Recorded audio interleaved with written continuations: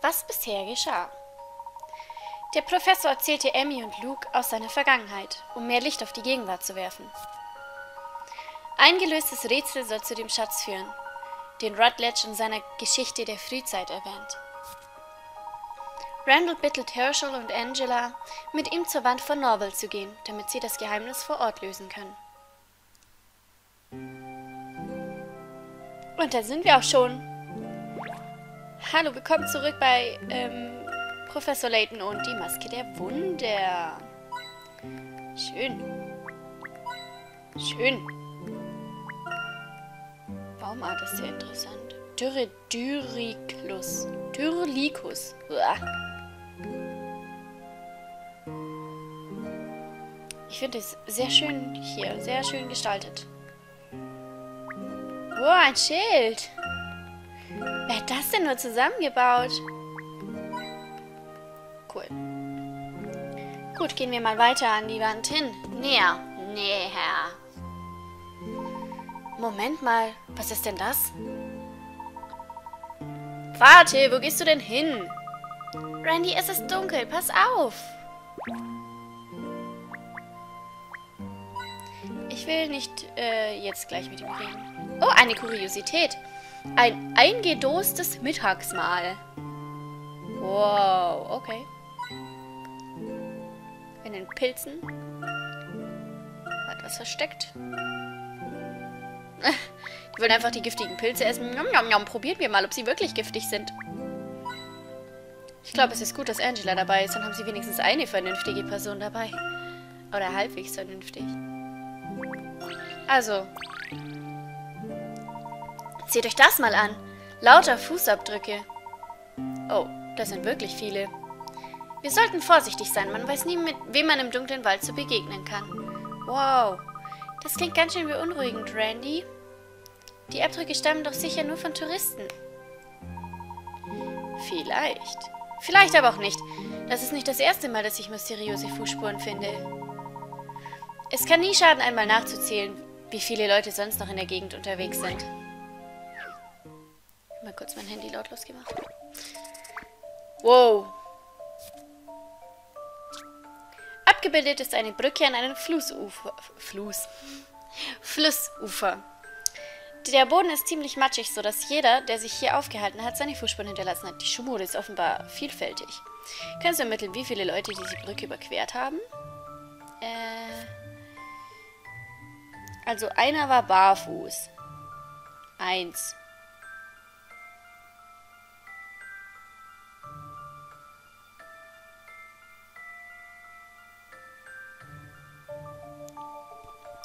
Einer hat so komische Bobbel in seinen Schuhen.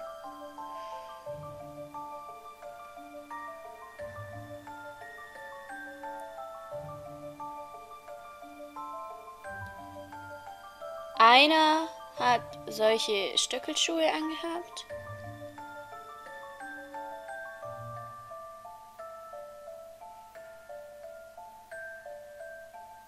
Einer hat solche Schuhe, aber das sind nicht die gleichen wie die, oder?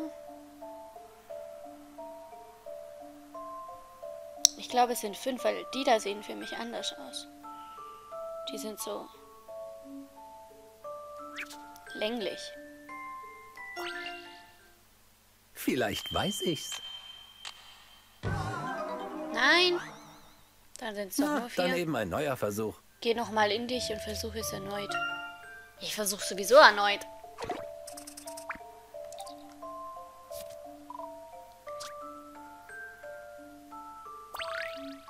Dann könnten es auch sechs sein.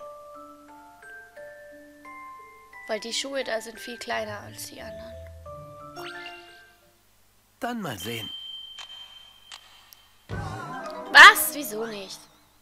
Oh, aber ich dachte doch. Oh, ist doch behindert.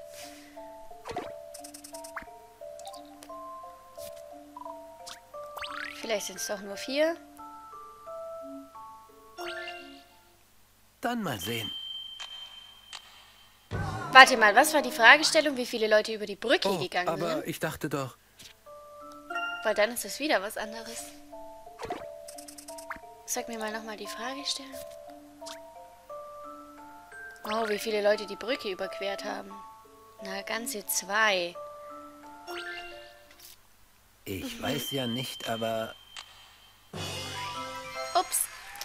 Man sollte Oh, halt die war Fragestellung genau lesen. Das war schon immer in der Schule mein Problem. Haha. oh Mann. Trotz deiner fehlenden Leidenschaft bist du ein Naturtalent im Rätsellösen. Das muss ich wirklich zugeben. Ach, das war nur Glück. Tja, Herschel, wenn du mit Rennie unterwegs bist, wirst du um das eine oder andere Rätsel nicht herumkommen. Die Welt ist voller Rätsel, die gelöst werden wollen. In diesem Sinne, auf nach Norwell. Okay, auf nach Norwell.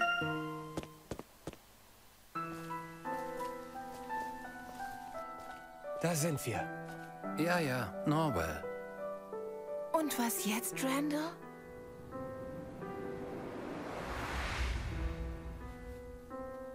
Also, ganz habe ich die Inschrift noch nicht entschlüsselt, aber sie weist auf einen bestimmten Ort hin, das ist sicher. Interessant, oder? Was sagst du? Auf welchen Ort? Genau das ist die Frage. Sag doch mal, Herschel. Magst du Rätsel? Nein, mag er nicht, hat er doch schon her, hat er doch, weiß er doch. Ich würde sagen, das sieht aus wie ein Versteck für eine Hinweismünze.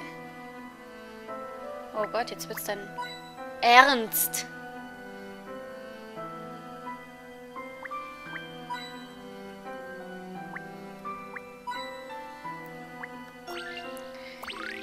Puh. Randall, wenn du wirklich recht hast, wäre das ein enorm wichtiger Schritt für die moderne Archäologie. Und dabei ist es so offensichtlich, wenn man es einmal gefunden hat. Oh, sieh mal, damit wird es noch klarer. Was ist das? Eine Abschrift eines Teils dieser Symbole. Sieh dir das an, Hirsch. Wo haben wir neulich schon so ein solches Muster gesehen? Es kommt mir bekannt vor. Ach ja, das Fossil, das wir für Herrn Collis zusammensetzen mussten. Das meinst du doch, oder? Ganz genau. Das Prinzip ist das gleiche. Man nehme ein Modell, zerteile es in mehrere Teile und fertig ist das Rätsel. Und das ist so einfach, dass keiner der Experten jemals daran gedacht hätte. Unglaublich. Das ist wirklich unglaublich, Randall. Und das war erst der Anfang, Herschel. Wenn du das Rätsel erst mal gelöst hast. Wieso? Was passiert denn dann? Das wirst du schon sehen, wenn es soweit ist.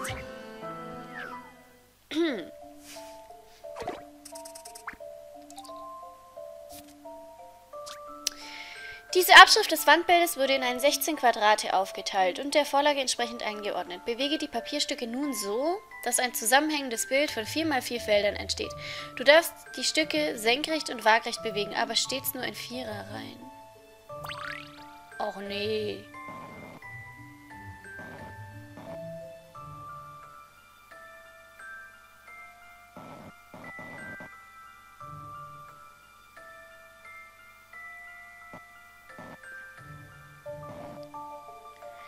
Ich hasse doch sowas.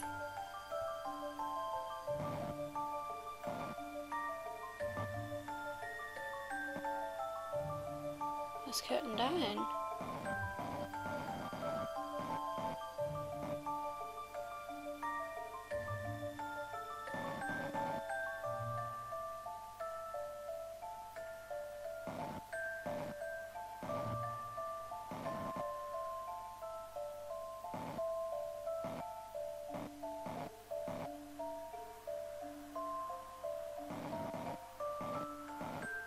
Ich weiß nicht, was rauskommen soll. Woher denn auch?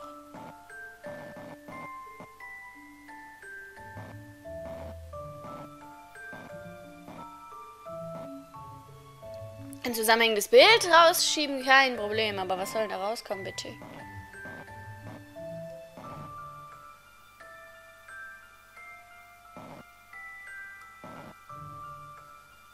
Da oben im Viereck sieht ja schon mal gar nicht so schlecht aus.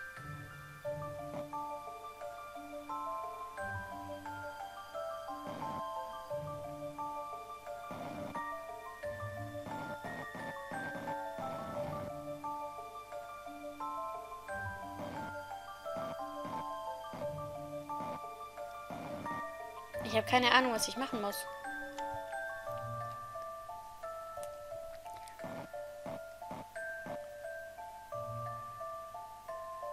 Rekonstruiere die Inschrift. Oh Mann. Gib mir mal einen Tipp.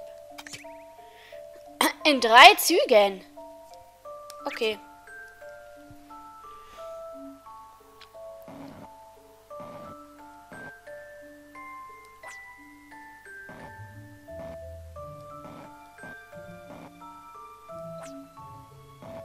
Wir müssen nur herausfinden, mit welchem wir anfangen müssen.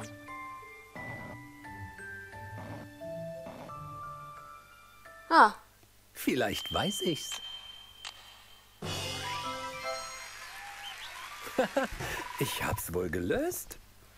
Ja, eigentlich habe ich es gelöst. Aber hey, lassen wir das mal dahingestellt. Wartet mal ganz kurz, ich habe hier gerade ein Problem mit meiner Kette und meinen Haaren und das tut gerade ziehen. Aua. So. Richtig, die uralte Inschrift sieht einer Karte nicht unähnlich. Dazu ist auch der große Wagen zu erkennen. Ich habe doch keine Ahnung von Sternbildern, Alter. Die sieben hellsten Sterne des Sternbilds des großen Bären. Der Wege, der große Wagen dient vielen Wanderern als Orientierungshilfe, um den Nordstern zu finden. Ob dies der Hinweis ist? Ja, wer weiß. Super, Hirsch. Ich weiß schon, wieso wir so dicke Freunde sind. Jedenfalls ist dieses ganze Muster nur eine riesige Landkarte, die auf einen bestimmten Punkt weist. Wirklich? Für eine Karte sieht sie gar nicht detailliert genug aus. Schau doch, die Karte unter dem Sternbild entspricht der Landschaft hinter den Hügeln. Ich bin über die Hügel bis zur Stelle gegangen, die auf der Karte eingezeichnet ist, und habe gegraben. Und dort, meine werten Abenteurer, habe ich die Maske gefunden.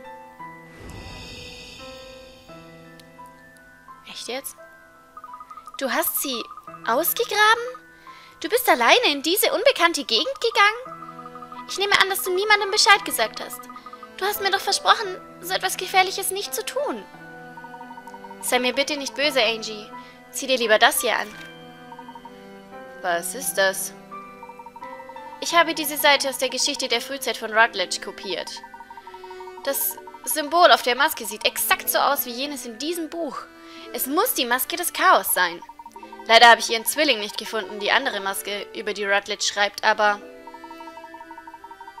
Bist du da nicht etwas vorschnell, Randall? Ich meine, das mit dem Symbol könnte doch auch nur ein Zufall sein. Möglich. Aber das war noch nicht alles. In der Kiste, in der die Maske war, befand sich auch eine Steintafel.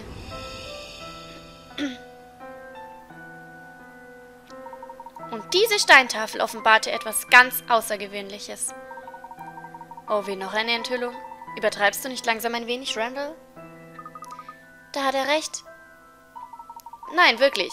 Das ist doch das Tollste an der Sache. Die Maske ist nicht nur ein wertvolles Artefakt, sondern auch ein Schlüssel. Und nicht nur irgendein Schlüssel, sondern der Schlüssel, der uns zu einem historischen Schatz führen wird. Ach, nicht schon wieder. Du glaubst ernsthaft, dass da irgendwo seit Jahrhunderten ein Schatz liegt, der bis jetzt allen verborgen geblieben ist? Selbstverständlich.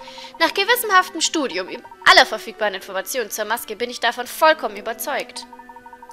Dieses Artefakt gehört zu einer Kultur, die noch wesentlich älter ist als alle bisher bekannten Zivilisationen. Überaus faszinierend dabei ist, dass diese Kultur uns der unsrigen mit ihrem Wissen und ihrer Technologie weit voraus war. Der Schatz, den es zu finden gilt, ist nicht blöder, ist nicht bloß schnöder Schmuck oder ähnlich oder es ist das Vermächtnis einer gesamten Zivilisation. Seht her. Dies ist der geheime Code, der auf der Steintafel verzeichnet war. Natürlich habe ich ihn entschlüsselt. Er dient anscheinend dazu, der Nachwelt Botschaften zu hinterlassen. Wer um diesen Code weiß, erkennt leicht, dass die Gravur auf der Maske ebenfalls eine Karte darstellt. Und wohin weist uns diese Karte? An einen legendären Ort, den Forscher seit langer Zeit vergeblich suchen. Nach Akbadin. Badein. Akbadein? Da müssen wir hin, Herschel. Du musst mit mir nach Ak Akbadein fahren. Ugh, was für ein Wort. Nein, Randy, das ist viel zu gefährlich. Das lasse ich nicht zu. Das lässt du nicht zu, Angie? Wie willst du mich denn aufhalten? Ich mache immer noch das, was ich will. Randy, du Dummkopf. Bei dir dreht es sich alles nur um dich. Manchmal weiß ich nicht mal... Na gut, du hast es nicht anders gewollt.